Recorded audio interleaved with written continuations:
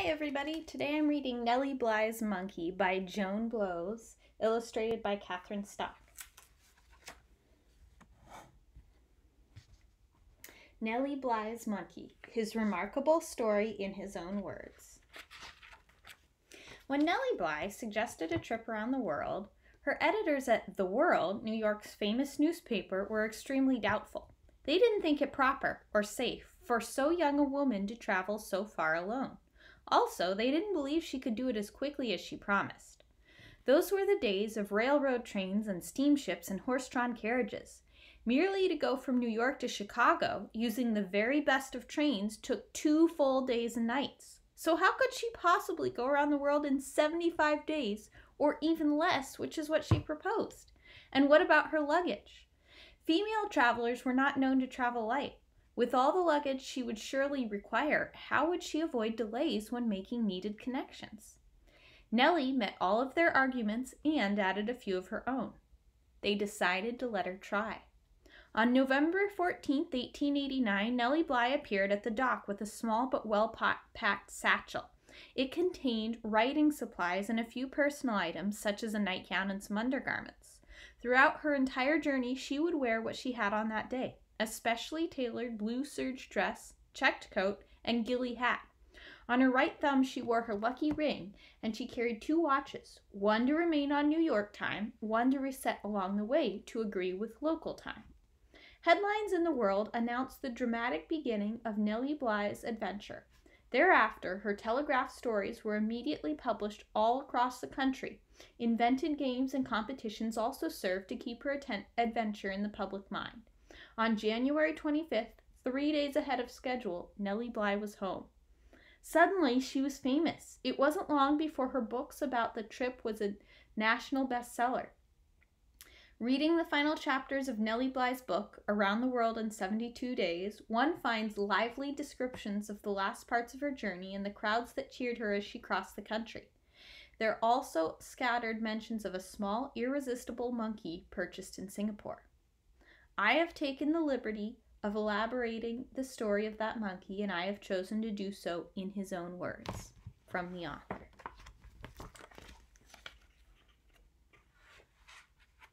In which I leave my home. No one remembered or told me exactly where I was born. I was captured at an early age and promptly taken to Singapore by my new Malaysian master. He was a driver of hired carriages and had to work long hours to support his family. Although I was treated well enough, certain important matters were never understood. For example, we monkeys are curious by nature. Yet I, a curious youngster, was confined to the house and yard. Forbidden to set my feet upon the road, I filled my mind with rare and extravagant stories of the travelers I observed.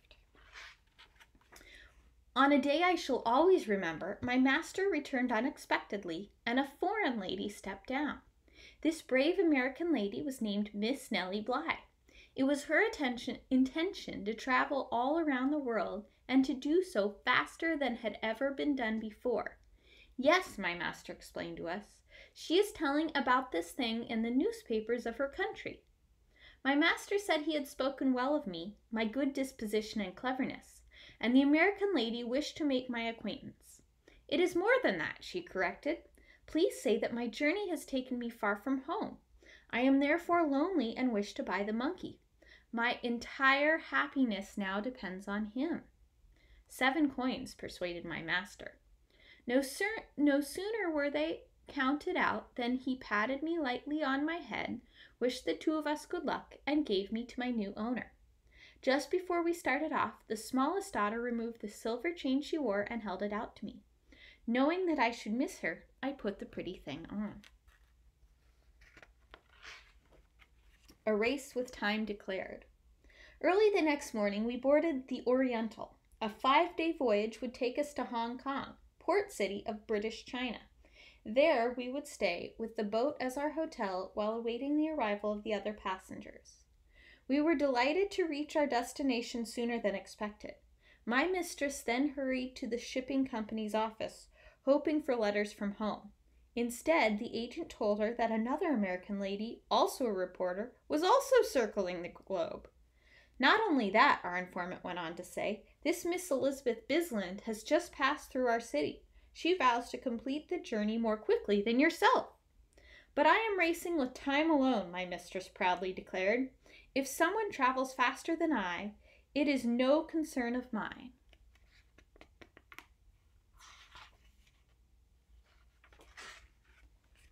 We returned to our cabin directly. Once there, my mistress spread out her map and traced our route with her finger. As she named the cities still to be reached, Yokohama and San Francisco, Chicago and New York, I was suddenly overcome with longing for my home. That night, in an effort to cheer us both, my mistress divided her meal with me.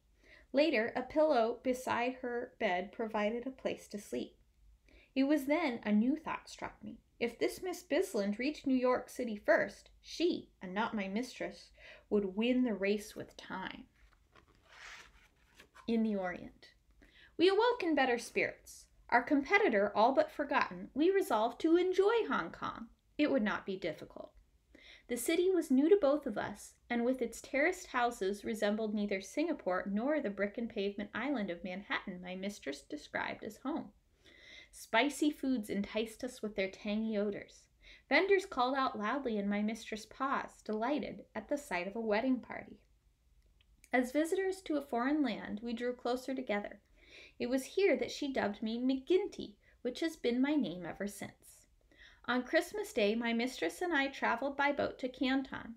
At the first sight of at the sight of my first American flag, I took off my little cap, and as I'd seen an American gentleman do, I held it over my heart. We returned to Hong Kong the next morning. Two days later, we received news that our ship was ready to sail. We said farewell to friends we had made and to British China. Yokohama was next. My mistress thoroughly enjoyed Japan and admired the Japanese people. Sorely tired of her practical blue dress, she envied the Japanese women in their bright kimonos. Although we were eager to be on our way, side trips and other diversions helped us pass the time. Onward to San Francisco. As we boarded the Oceanic, a ship that carried the Pacific mail and a few passengers, the captain welcomed us warmly. All going well, he promised. We should complete the crossing in just 15 days. But three days later, as the Oceanic floundered in high Pacific seas, a cry went up from the superstitious sailors Throw the monkey overboard! The monkey has brought bad luck! To my lasting gratitude, my mistress boldly snatched me up and carried me to safety. Thereafter, I stayed out of sight. America at last. Mishaps and misunderstandings awaited in San Francisco. First, it was feared that the ship's bill of health had been left behind. Without it, we passengers could not disembark, and a two week delay was threatened. On hearing this, my mistress fell into despair. A few minutes later, the bill of health was found, and, with relief, we boarded the landing tug. No sooner had it pulled away from the pulled away than the doctor appeared at the railing. Stop! Stop! Stop! Return at once! he shouted to my mistress. I must examine your tongue. By way of an answer, she stuck it out at him, and I followed her example. Finally, when we were reached at the pier, when we reached the pier, we were greeted with the news that a sudden blizzard had closed all railroad traffic over the Rocky Mountains. Luckily, a private train had been arranged by the World, it would take a southerly route and thus avoid the snow. McGinty, said my mistress, gratefully touching her lucky ring, it's been quite a day. As our train crossed the open prairie, numbers of real cowboys paused to wave to us. At each station and each station stop, everyone was singing My Nellie's Blue Eyes as hands and handkerchiefs fluttered. Our train being small, the engine had little to pull. Therefore, we traveled swiftly, making many a record breaking run, especially in Kansas, where the land is flat. More and more often, my mistress spoke of home. Smilingly, she described to me the terrier and the parrot that awaited our return. I shall always remember Chicago as the kindest, liveliest, and handsomest of cities. Due to our early arrival, arrangements to entertain us had to be hastily made. Nevertheless, the press club turned out to greet us, and we breakfasted well at Kinsley's, an excellent restaurant. At Chicago's Board of Trade, the brokers cheered us loudly when my mistress was recognized. Too soon we were driven to Pennsylvania Station, where we boarded the regular train. As my mistress was later to write, she felt at home in Chicago and wished she could stay all day.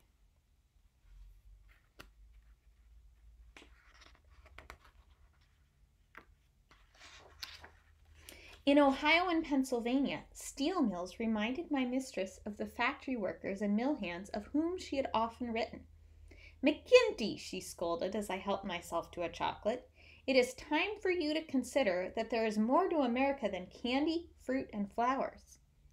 Soon we were crossing wide and beautiful rivers, equally remarkable for their long and beautiful names. And before you could say Susquehanna, we arrived in Philadelphia, where an escort of newsmen came aboard the train for the last part of the journey. My mistress had sailed from Hoboken Pier on November 14, 1889 at 9:40 in the morning. On January 25, 1890, at 3:51 in the afternoon, our train arrived at the Jer- Jersey City station and my mistress jumped to the platform. Amid cheers so loud he could hardly be heard, Jersey City's mayor declared, The American girl can no longer be misunderstood. She will be recognized as determined, independent, able to take care of herself wherever she may go. In a welcome described by the world the next day, friends and family surrounded her. Nellie Bly was home. My new life begins. My mistress lived in New York City in something called an apartment, which is part of a larger house. The house itself was called 120 West 35th Street. It was there I met the terrier and the parrot of which I had heard so much. My mistress was fond of both of them, but they did not get along. I truly think that in their entire lives the only matter on which these two agreed was their dislike of me. Together they often provoked me. I took to throwing things. Do come, my mistress wrote to a friend, before the monkey knocks the life out of the parrot and the dog shakes the impishness out of the monkey, for not one is congenial and friendly with the other, and they are in a constant state of hostilities which may break forth at any moment. I become a celebrity. Shortly thereafter, my mistress took me to visit the New York Menagerie, a splendid collection of animals, both native and exotic. Children reached out to offer me roasted chestnuts and pretzels thick with salt. Three small sisters brought to mind my master's little daughters in far off Singapore. As we paced the sunny pathways, my mistress ex- explained that arrangements had been made whereby I was to take up residence at the menagerie. She would visit me often, she promised. Neither of us would ever forget the adventures we had shared. Assured that my mistress would remain my friend, I became quite curious about the plan she proposed. Is not this trait essential to a monkey's nature? I have always said this is so.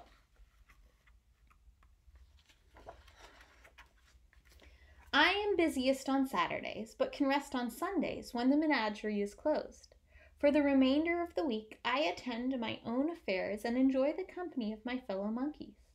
Of course, we are always glad to perform for those who come to see us.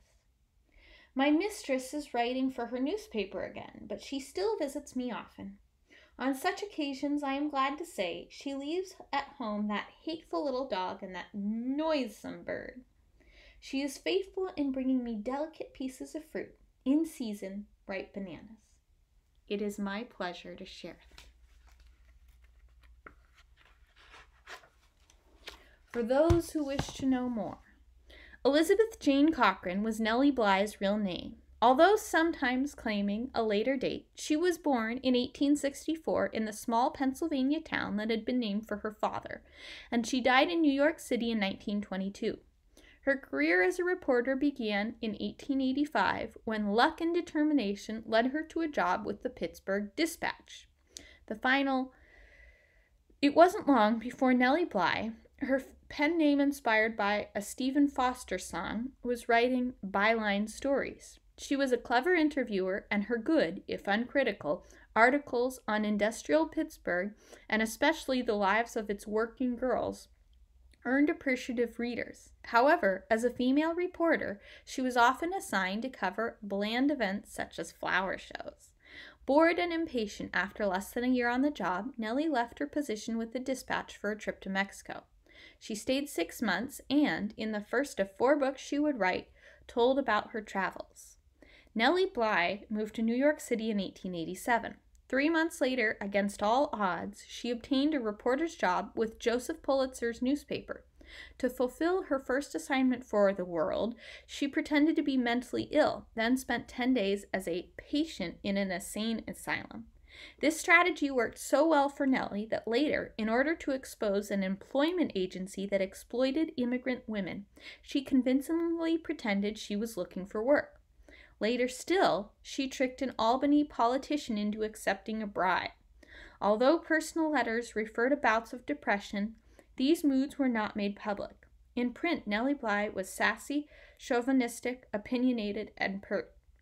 A second life and a new career began in 1885 with a marriage to Robert Seaman, 1895, sorry, with a marriage to Robert Seaman, a wealthy businessman many years older than Nellie. The workings of his Brooklyn, New York factory interested her, and she soon joined him in the management of its day by day operation.